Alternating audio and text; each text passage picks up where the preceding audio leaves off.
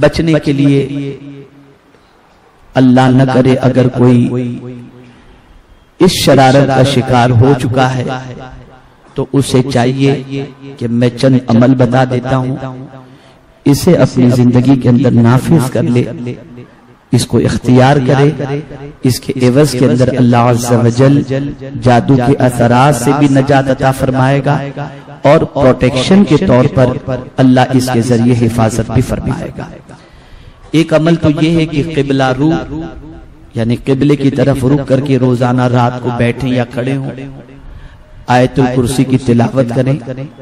اور قبلے کی طرف ایسے پھونکیں۔ پھر چہرہ قبلے ہی کی طرف رکھیں دوسری مرتبہ آیت الکرسی پڑھیں اور ایسے پیچھے کی طرف۔ پیٹ کی طرف پھونکیں۔ پھر چہرہ قبلے ہی کی طرف ہو آیت الکرسی پڑھیں دائیں جانب پھونکیں پھر آیت الکرسی پڑھیں بائیں جانب پھونکیں پھر آیت الکرسی پڑھیں اوپر کی جانب پھونکیں پھر آیت الکرسی پڑھیں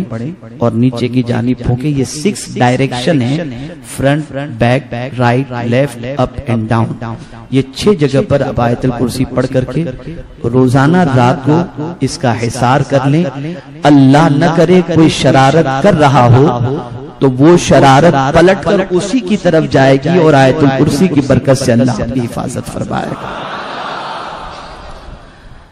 ام المؤمنین حضرت عائشہ صدیقہ رضی اللہ تعالی عنہ آقا کریم صلی اللہ علیہ وسلم کے معمولات کو بتاتی ہوئے بتاتی ہیں۔ ارشاد فرماتی ہیں کہ رسول اعظم صلی اللہ تعالی علیہ وسلم رات کو سونے سے پہلے چت لیٹتے اسٹریٹ اور سورہ اخلاص، سورہ فلق اور سورہ ناس کی تلاوت کرتے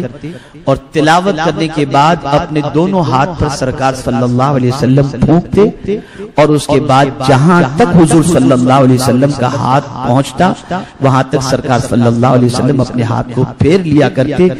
اس عمل پر سرکار کی مداومت کا عالم یعنی ہمیشی کا عالم یہ تھا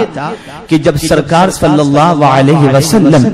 سخت علیم ہوئے اور آپ کے جسمانے جسم مبارک کے اندر کمزوری زیادہ بظاہر محسوس ہونے لگی تو ام المؤمنین کے ہاتھوں پر سرکار پڑھ کر کے پھونکتے اور ام المؤمنین حضرت عائشہ صدیقہ حضور صلی اللہ علیہ وسلم کے جسم اتھر پر اپنا ہاتھ پھیر دیا کرتی تھی۔ اس عمل کو کریں، اسے معوضتین کہتے ہیں۔ اس کا